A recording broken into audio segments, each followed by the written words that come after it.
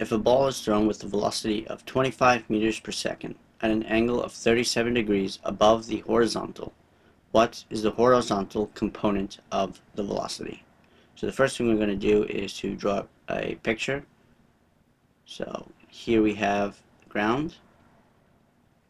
And then over here we have the ball, which is going to be thrown up with a velocity v, which is 25 meters per second at an angle of 37 degrees above the horizontal. So we're going to denote that as theta.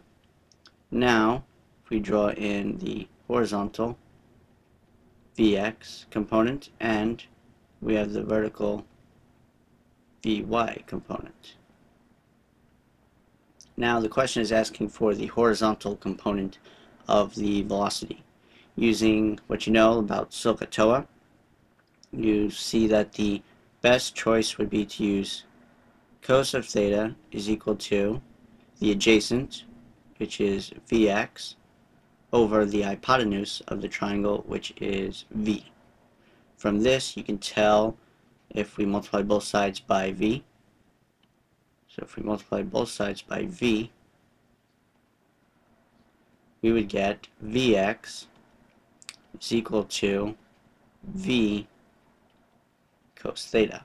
Now to solve for Vx, we just simply plug in the given values we have for V and theta. So Vx is equal to 25 meters per second because we're told that the velocity is 25 meters per second as shown here and it's cos of theta.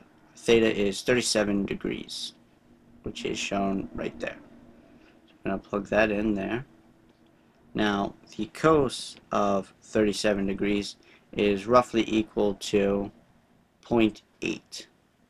So Vx is equal to 25 meters per second times 0.8. That is approximately equal to 20 meters per second. So our horizontal component of velocity is 20 meters per second, which is answer C, 20 meters per second.